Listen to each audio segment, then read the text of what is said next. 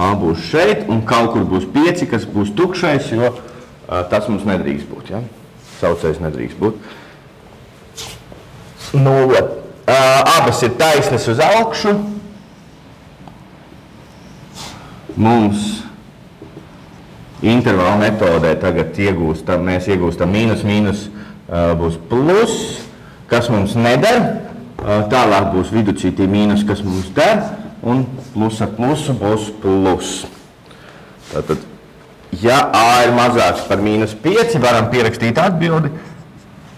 Šajā gadījumā x pieder no A pilnais, tātad A ieskaitot, jo A ieskaitot mums dos uh, nulli, jā, kas mums der, līdz pieciniekam neieskaitot. Līdz pieciniekam neieskaitot. Nu, domājam otrādā, kas notiek, ja A ir mazāks par, A ir lielāks par mīnus 5.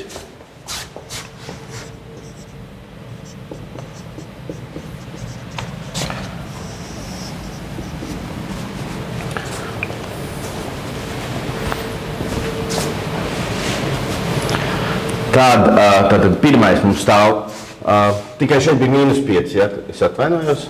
Šeit bija mīnus. No, no A līdz mīnus 5. Tur sanāk. Tagad ir otrādi. Pirmais ir mīnus 5, kas ir tukšs. Un pēc tam kaut kur nāk A, kas ir pilns.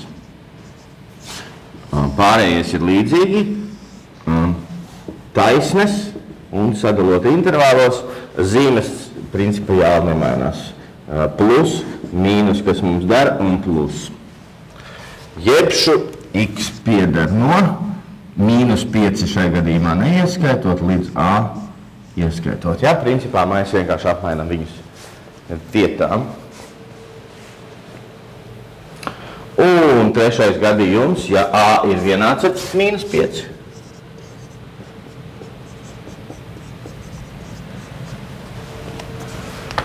Tad, un tad mēs varam ievietot, kas mums sanāk. Tad mums sanāk x mīnus mīnus 5 būs x plus 5 dalīts uz x plus 5, mazāks vienāds par 0. Mēs iegūstam ko? Iz, noīsnot viens mazāks par 0 vai vienāds. Un kas nav patiesība, vai ne?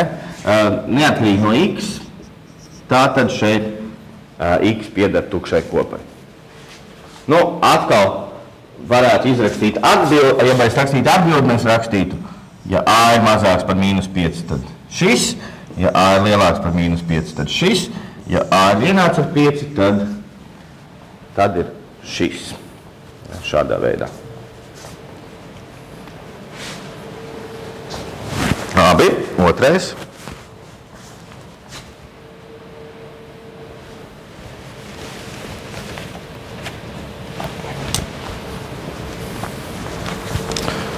Otrais. Kaut kas līdzīgs mums arī īstenībā bija.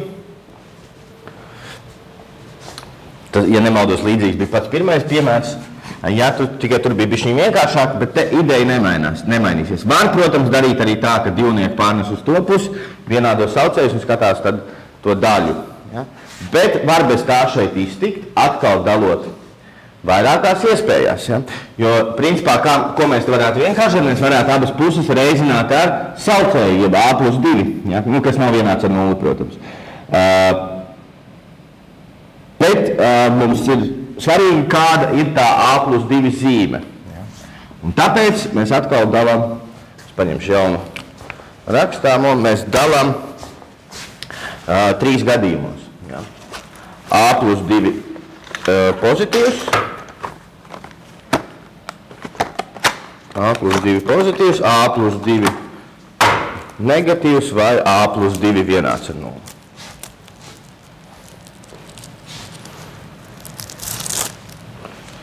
Tātad, ja A plus 2 pozitīvs, jeb A ir lielāks par mīnus 2. Tad reizinot abas nevienādības puses ar A plus 2, šitas iet kā reizinātais uz otru pusi un zīme nemainās. Un iegūstam, labi, kreisajā pusītē paliek vienkārši x minus 1, jo A plus 2 ir noīsinājies, un šeit nāk 2A, tad lielāks vienāds 2A plus 4. Nu, no kurienes varam izteikt x, ja to mīnus viennieku varam pārnest uz otru pusi kā plus viens, un iegūstam x lielāks var vienāds par 2a plus 5, ko varam pierakstīt, protams, kā intervālu. x pieder no, tad sākot no 2a plus 5 piedāvām ieskaitot 2a plus 5 līdz pat plus bezgalībai. Labi, līdzīgi otrādāk, ja a plus 2 būtu negatīvs, jeb a būtu mazāks par mīnus 2. Ja? Tad arī mēs varētu nevienādības abas puses reizināt ar a plus 2, bet tas jau būs ar negatīvu skaitli, tātad nevienādības zīme mainīsies uz pretējo. Tad x mīnus 1 būs jau mazāks vienāds par 2a plus 4, jeb tas ir ekvivalents atkal izsakot x mīnus viennieku uz otru pusi, tikai mainīsies tas, ka mazāks vienāds par 2a plus 5. Jeb varam pierakstīt atkal kā intervālu. Šai gadījumā no mīnus bezgalības, neieskaitot, protams, līdz 2a plus 5 ieskaitot, kas mums dotu nulli. Ja.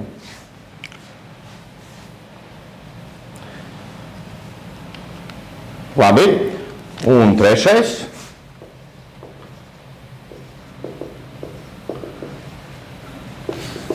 Ja A plus 2 ir vienāds ar nulli,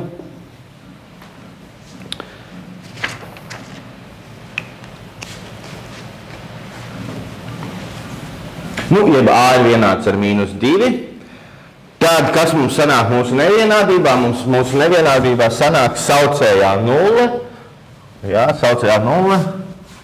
Jeb tas nozīmē, ka nevienādība nav definēta un uh, x pieder tukšai kopai. Tad, ja mēs te izrakstītu atbildi, tad tā ir viss tas, kas man ir pasītrots. Šādi. Ja? Tad, ja a ir lielāks par mīnus 2, x pieder tam intervālam, a mazāks par mīnus 2, tad tam intervālam, Ja A mīnus 2, tad X pieder tukšai kopai. 1 pie 4. Es pieņemu, 1 pie 5 arī mēģināsim izpildīt. Šķiet, ka laiks pietiks man. Un tad ceturtdien, ceturtdien, um, principā mēs vairāk un mazāk iespējams jau pat pabeigsim visu. Ja? Piektdien varbūt paņemsim kādus atkārtojumu uzdevumus, bet ļoti iespējams jau iesāksim e, jauno tēmu, jeb matemātisko analīzi.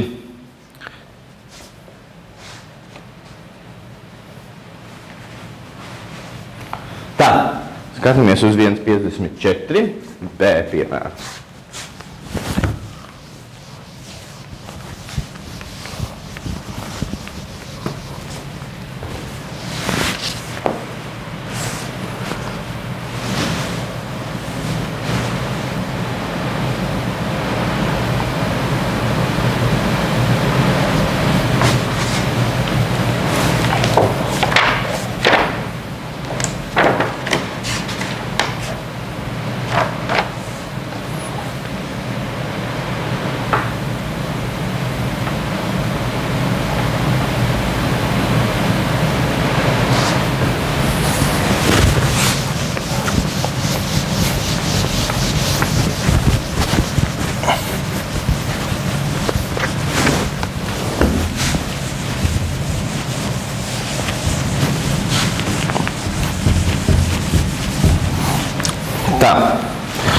Mums atkal vajag domāt no tāda viedokļa, kas mums būtu, ja A vietā būtu kaut kāds skaitlis, kā tad mēs šādu nevienādību risinātu, kur mums ir vairāki reizinātāji.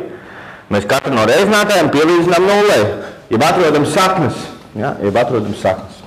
Mūsu gadījumā x mīnus 2 ir vienāds ar 0, x plus 3 ir vienāds ar 0, vai attiecīgi x mīnus a ir vienāds ar 0.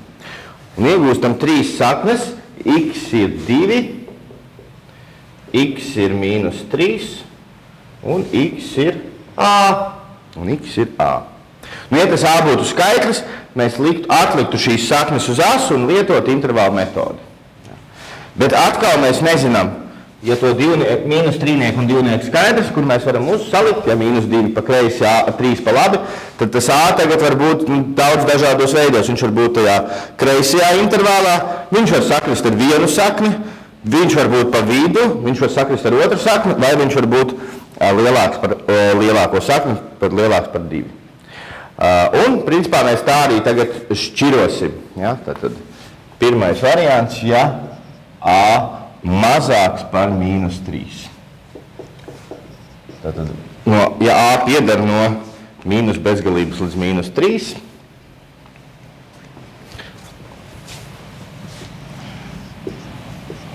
tad, ko mēs iegūstam šeit intervāla metodē?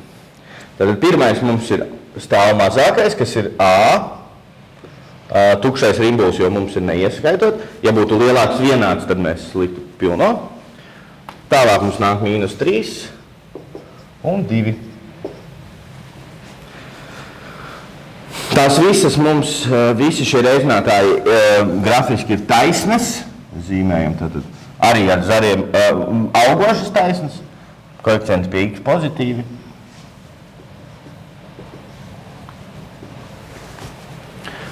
Un ko mēs teikt iegūstam? Trīs reizinātāji negatīvi, tātad negatīvs, kas mums nedara, divi reizinātāji negatīvi, viens pozitīvs der, šeit nedara un šeit atkal der. Jā, tad mūsu gadījums ir pa vidu, šitie divi intervāli. Tad, ja A mazāks par mīnus 3, tad X pieder un pierakstam smuku divu intervālu apvienojumu sanāk. Ja? No A līdz mīnus 3 apvienots ar 2 līdz plus bezgalībai. Šis ir pirmais gadījums. Kopā būs 5. Ja? 5 dažādi mums jāizšķiro.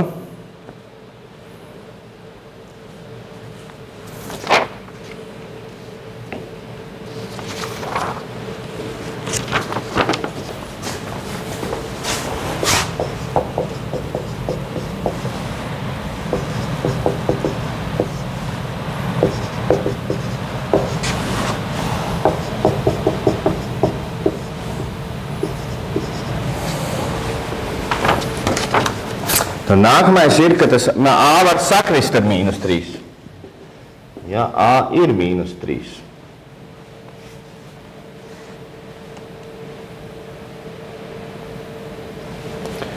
Tad kas mums tagad ir šeit? Mums tagad sanāk tikai divas vairs. Divi aplīši, ja, mīnus 3 un 2, jo A sakrīt ar mīnus 3. Ja ko mēs iegūtu nevienādībā, mums te sanāktu uh, x plus 3, un šeit būtu x mīnus mīnus 3, arī būtu x plus 3. Ja x plus 3 kvadratā, tad caur divnieku joprojām ietu taisne. A, kas būtu ar to mīnus 3? Kas tur būtu? Mēs iegūstam ko? Kvadrātisku izteiksmi, tātad parabola, bet tā sakna mīnus 3 mums ir divkārša. Tātad pieskaras pie mīnus trīnieka un skatāmies, kas mums der. Mīnus ar plus reizināts ir mīnus, šeit joprojām mīnus reiz plus ir mīnus, un tikai šeit mums gan parabola ir virs, gan taisni ir virs plus. Un tas arī būtu mūsu intervāls, kas der. X pieder no 2 līdz plus bezgalībai, ja A ir konkrēts skaitlis mīnus 3. Trešais. Ja A tagad mums ir starp to mīnus 3 un 2 te pa vidu. Ja, ja A pieder no mīnus 2 līdz 3.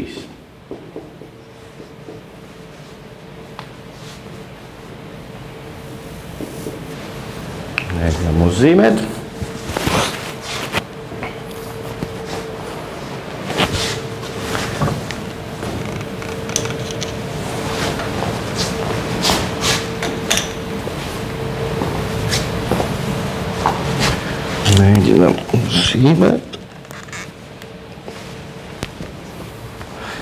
Tā tad uh, tikai mīnus 3, 2 es atvainojos. Mīnus 3 un 2, protams. Ja A piedara mīnus 3, 2. Tad sākas ar mīnus 3, tad nāk kaut kur A, un tad vēl nāk 2. Ja mums ir trīs dažādas saknes, visas mums atkal ir taisnas, uh, principā es nezīmēšu tās taisnas, jo tās zīmes sanāk tādas pašas kā te. Tātad mīnus, plus, mīnus, plus, un mums der tur, kur ir pozitīvs. Tātad x pieder no mīnus 3 līdz A, un apvienots ar 2 līdz plus bezgalīgi. Nu, un vēl divi gadījumi, 4. un 5. Ceturtais atkal būs kon ar konkrētu vērtību. Šai gadījumā A ir 2. Ja A sakrīt ar to otru sakni, zināmo,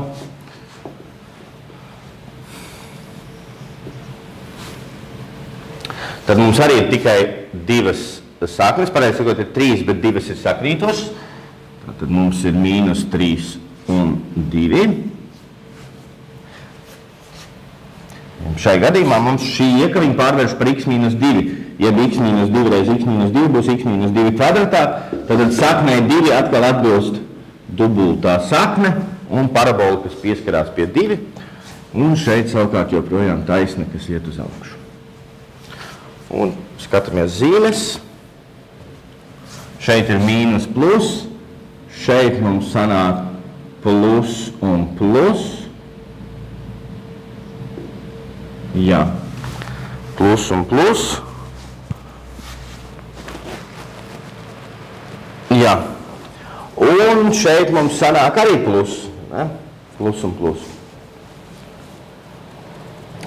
Tātad mums der viss tas intervāls, kur ir plus, un tikai divnieks mums nedarēs, jo mums vajag stingro uh, nevienādību. Ja? Tad x pieder no mīnus 3 līdz 2